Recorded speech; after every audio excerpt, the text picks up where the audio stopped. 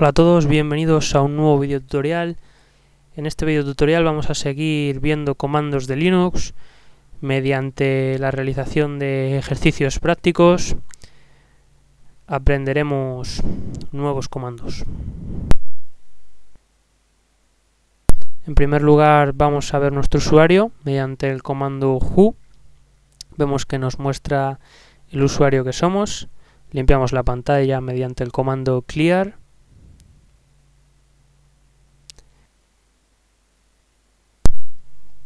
Vamos a comenzar con los ejercicios prácticos. En la parte inferior de la imagen vamos a ver el enunciado. En este caso nos dice que creemos una instrucción con una instrucción un archivo índice que contenga la lista de archivos del directorio etc. Bien, para hacer esto eh, sería interesante primero ver qué archivos contiene el directorio etc. Para ello vamos a hacer un cd barra etc, un chunk directory, y vemos que nos hemos situado en el directorio etc. A continuación, para listar los archivos, introduciremos el comando ls-l y vemos que nos aparecen listados todos los archivos de el directorio etc.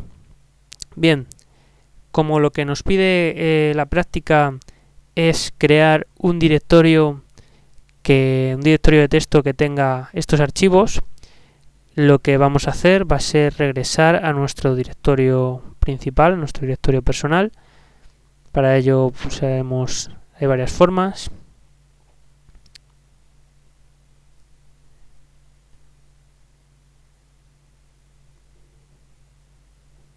Bien, hemos bajado atrás y el comando que vamos a utilizar va a ser ls-l para indicarle que queremos listar, barra etc para indicar que es el directorio etc el que queremos listar y a continuación lo vamos a redirigir, a redireccionar a un, fichero mediante el símbolo mayor que y este fichero va a llevar por nombre índice.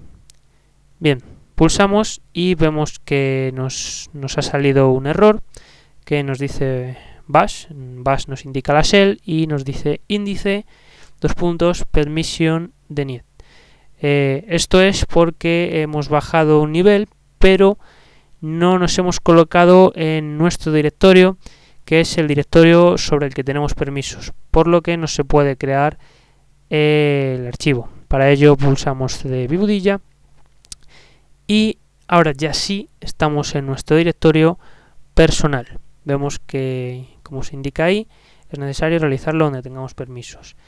Volvemos a ejecutar la línea, el comando, y en esta ocasión, como podemos comprobar, ya no nos ha dado ningún problema. Eh, si no nos da mensaje de error, quiere decir que se ha creado.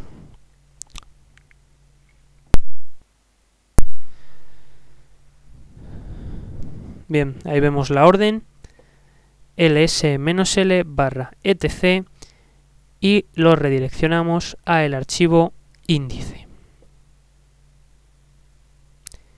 Con ese símbolo eh, es mediante el que hacemos la redirección, el símbolo mayor que, que en este caso pues, simularía una flecha.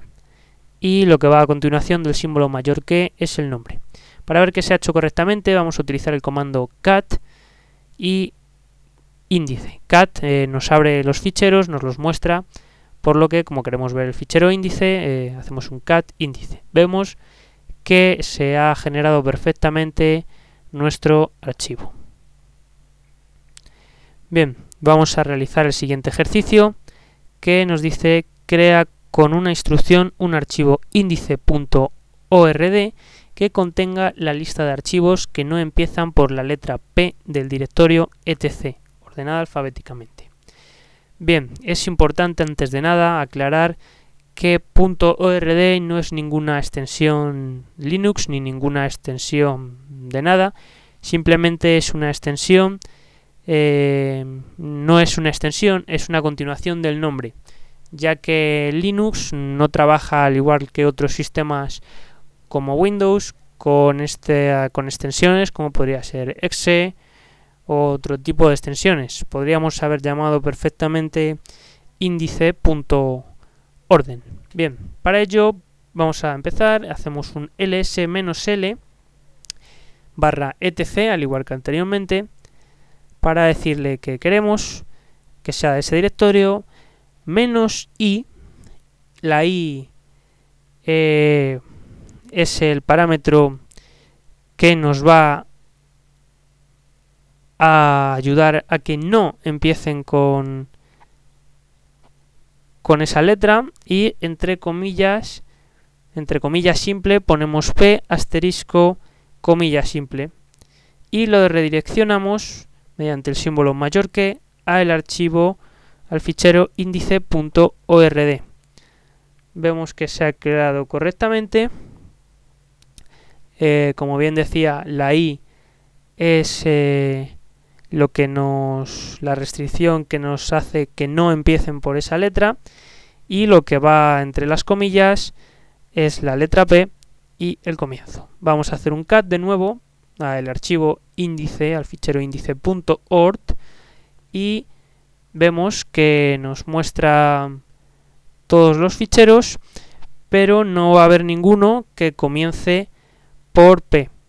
Si ha salido todo correctamente, Mm, vemos eh, todos los ficheros y vamos a localizar la, la O y a continuación buscaremos eh, los ficheros a ver si hay alguno que empiece por P.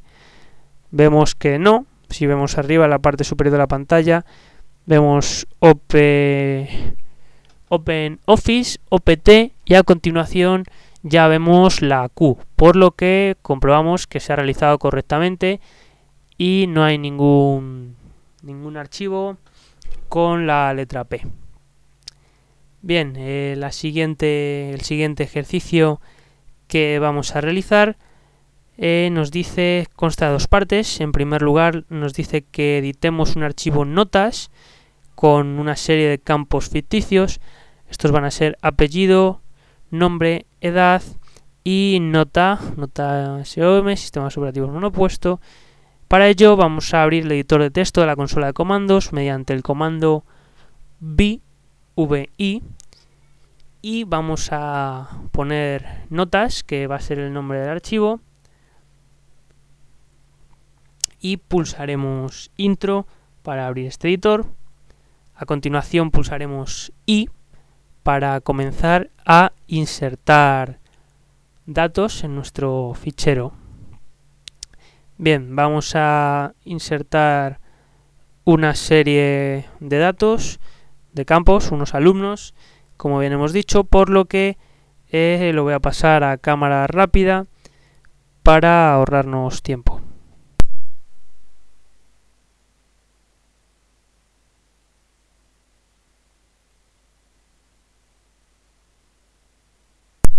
Bien, ya tenemos nuestro fichero de texto creado. Vemos que lo hemos creado de la siguiente manera. En primer lugar, apellidos. En, segundo lugar, nombre. En tercer lugar, edad, los años. Y en cuarto lugar, la nota obtenida. Vemos también que eh, los hemos separado mediante guiones, guiones medios. Era un requisito que podemos ver abajo del ejercicio. Están separados mediante guiones medios. Esto va a ser importante luego a la hora de realizar la búsqueda y la ordenación. Bien, para guardar el archivo pulsamos dos puntos y escribimos WQ. Pulsamos intro y ya está guardado y estamos fuera. Bien, a continuación lo que vamos a hacer va a ser crear un archivo notas.ort.edad que contenga el listado de alumnos anterior, ordenado por el parámetro de la edad. Esto lo vamos a hacer del siguiente modo. Vamos a poner sort, que es el comando de ordenación, guion t, guion guion K 3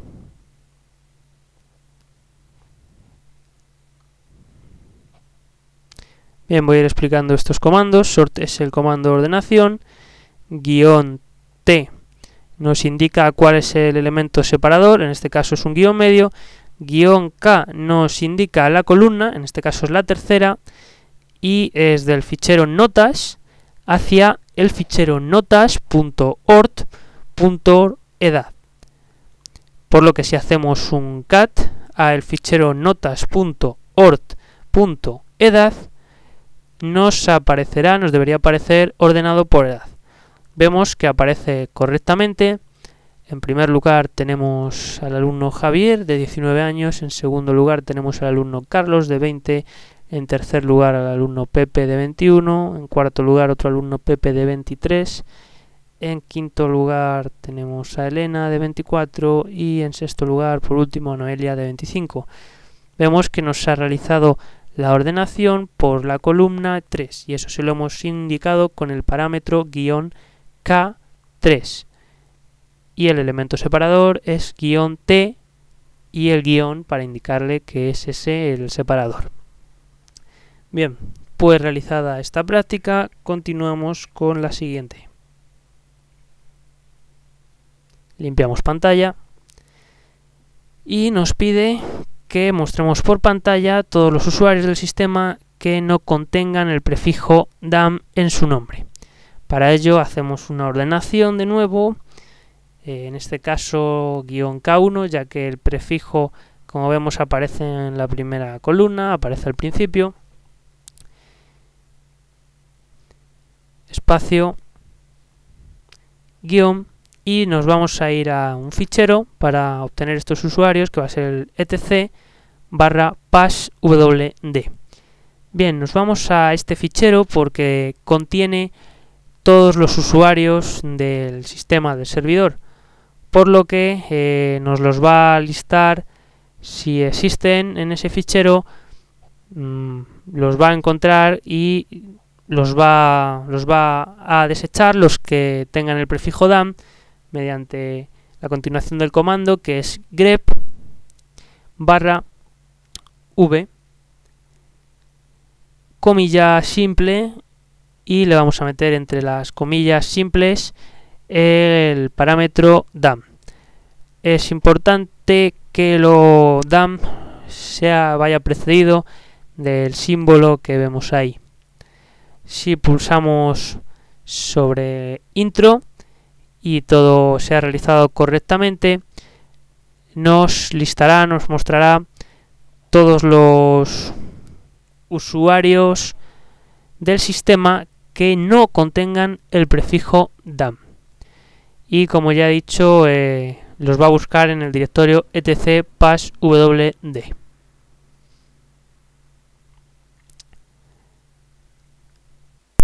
Bien, vemos que nos muestra a todos los usuarios, eh, DAI, ISO, pero eh, por ningún lugar DAI deberían aparecer junto a junto a DAI los de DAM, pero vemos que no aparecen, aparecen SMR, aparecen todos los usuarios del sistema, exceptuando los que lleven eh, DAM en su nombre. Bien, para comprobar que DAM eh, aparecen, que los usuarios DAM aparecen, vamos a hacer una prueba, nos vamos a ir a etc y vamos a ver el fichero passwd para ver que si no le ponemos la restricción con el comando grep nos aparecen correctamente. Para ello hacemos un change directory al directorio etc y dentro de etc vamos a hacer un cat al directorio passwd y vemos que si nos aparecen los usuarios que llevan DAM por lo que el comando con la restricción grep ha funcionado correctamente.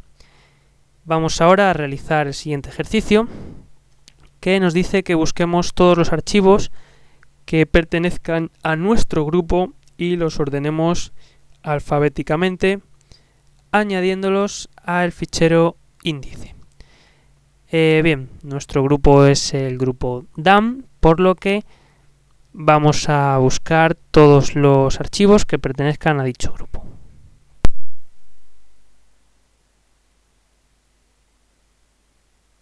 Para ello eh, los listamos mediante un ls-l. Eh, vamos a decir que sea en el directorio home, ya que ahí es donde van a aparecer los pertenecientes a nuestro grupo. Y vamos a separarlo con el guion vertical de nuevo. Pondremos grep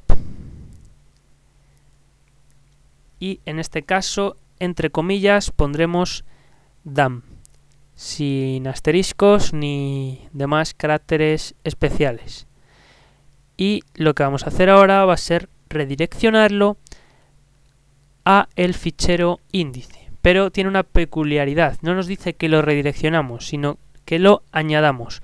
Por lo que si ejecutamos la orden tal cual está ahora, el archivo índice que creamos anteriormente se sobrescribiría. Sin embargo, si ponemos doble símbolo mayor que, esta sentencia se añadiría al final. Bien, vemos que nos ha dado un error, esto nos ha pasado anteriormente y es porque estamos en el directorio etc sobre el que no tenemos permisos de escritura ni modificación, por lo que si volvemos a nuestro directorio principal mediante cd bibudilla y ejecutamos de nuevo la orden, eh, vemos que ya nos da error por lo que eh, se ha realizado satisfactoriamente. Vamos a realizar un cat al archivo índice y vemos que tenemos todos los archivos anteriores, el ls-l que hicimos en el directorio etc y al final del todo, si seguimos bajando, vemos que tenemos los archivos, o sea, perdón, los usuarios de que llevan DAM en su, en su nombre, que son los usuarios pertenecientes a nuestro grupo. Vemos que ahí tenemos uno que pone SMR, pero si nos fijamos eh, lleva eh, DAM implícito en sus datos. Bien, pues hecho esto, vamos a realizar la siguiente, la siguiente tarea, el siguiente ejercicio, para el que vamos a ver una pequeña explicación antes de hacerlo. Bien, en este ejercicio se nos pide que trabajemos con los permisos, por lo que en primer lugar vamos a explicar estos permisos, la R que podemos ver delante de los archivos significa lectura, la W significa escritura y la X significa modificación. Por lo que cuando vemos un archivo, listamos los archivos y vemos que por ejemplo tienen RWX, guion guion X o ese tipo de cosas, quiere, nos está indicando sus permisos. Bien, eh, se dividen en grupos de tres. Y en este caso nos interesa saber el primer grupo, ya que es el grupo que nos afecta para la realización de la práctica. Mediante este cuadro eh, vemos que el 6 corresponde con RW- que serían permisos de lectura y escritura. Y los guiones no corresponderían a ningún permiso. Bien, por lo que si quisiéramos eh, permiso de lectura y escritura únicamente para el usuario, sería un permiso rw guion guion guion guion guion guion guion por lo que sería un permiso 600 vamos a ejecutar para realizar esto el siguiente comando fin barra guion perm 600 que es el comando según lo que hemos visto dos símbolo mayor que para eh, que los archivos de error para los que no haya permisos, los redireccione a dev null. Y de ese modo vemos la salida que nos da con ese tipo de permisos. Bien, a continuación vamos a buscar en el directorio dev los archivos cuyo nombre empieza por punto. Para ello ponemos find barra dev guion name y entre comillas pondremos punto asterisco. Para ver los que eh, los que tienen E, pondremos lo mismo, pero entre comillado pondremos la E. Bien, esto ha sido todo. Muchas gracias.